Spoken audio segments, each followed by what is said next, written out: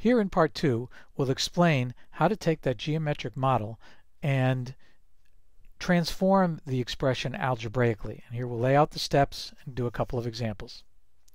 So first, we'll do the example that we did in the first video, x squared plus 4x plus 20. The first thing we did was we separated out the x squared and 4x plus ter uh, terms. Um, so we'll say that we group those together. We then prepare to complete the square by leaving this empty space in the x squared plus 4x, just like we had the lower right hand corner of that square. And we leave a space on the right to represent the pieces that we're going to take from the block of unit squares on the right.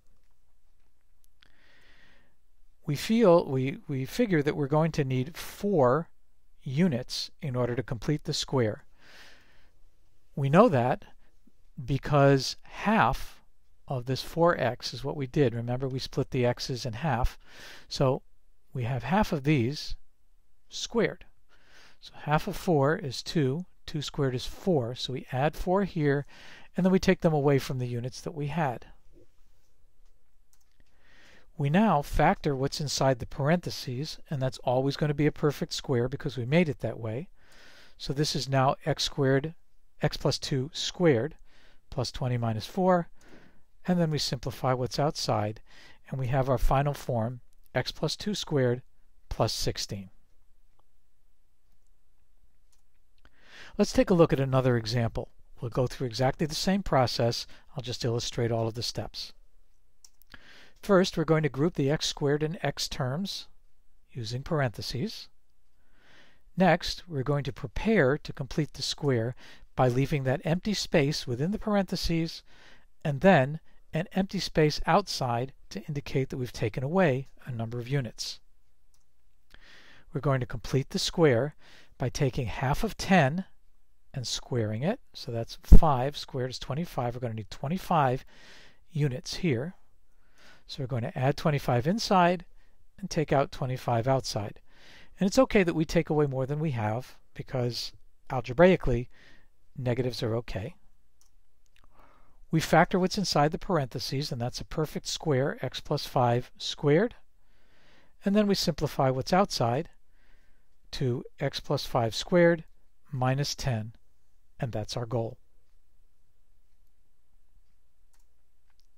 Here's one more example. In this example, the coefficient of x is negative, so we're going to see what happens in this case. Again, it doesn't have a good geometric model, but algebraically we can still do this. We'll go through the same process. We'll group the x squared and x terms. We'll prepare to complete the square by adding, and we do actually add, a, uh, a little block, an empty block here, and we're going to subtract, subtract out the units outside. We're now going to complete the square by taking half of negative 8, that's negative 4, squaring that to get 16 and we're going to add 16 inside the parentheses, subtract it outside. Next, we'll factor what's inside the parentheses, and this factors to x minus 4 squared, and then simplify outside the parentheses to get x minus 4 squared minus 26. Now I'd like you to do this example on your own following these steps Stop the video while you do that. Do the work in your journal or on a piece of paper. And then when you're done, restart the video to check your work.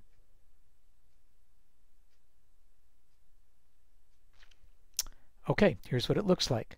You group the first two terms, prepare to complete the square by leaving those empty spaces. You complete the square by taking half of 12, squaring it to get 36, so half of 12 is 6, squared is 36, add it inside the parentheses, subtract outside. Factor the parentheses to x plus 6 squared, simplify the right-hand uh, term to x plus 6 squared plus 64. I'd like you to do one more. This one we're going to do where the coefficient of x is not even. In other words, it doesn't divide evenly by 2. But we can still complete the square. we're going to group the terms as we did before. We're going to prepare to complete the square by leaving those empty spaces. But now we take half of 5, that's 2 and a half. That's 5 halves. And we square that, and we get 25 fourths. But that's okay. We're going to add 25 fourths inside, subtract 25 fourths outside.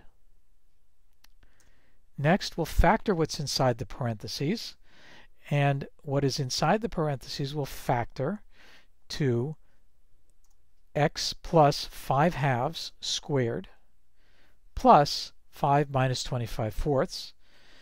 Then we simplify what's outside the parentheses to x plus 5 halves squared minus 5 fourths. I'd now like you to try this example. Please do it on paper or in your journal. Stop the video while you do that. Follow these steps and then restart the video so that you can check them.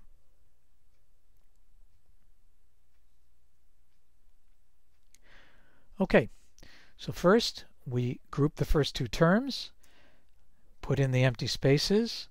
We're going to complete the square by taking half of 9, that's 9 halves, and squaring it to get 81 fourths. So that's x squared plus 9x plus 81 fourths plus 10 minus 81 fourths. Factor what's inside the parentheses to x plus 9 halves squared plus 10 minus 81 fourths. Simplify what's outside the parentheses and we get x plus 9 halves squared minus 41 fourths. And that's completing the square. Next, we're going to look at a geometric model for non-monic polynomials.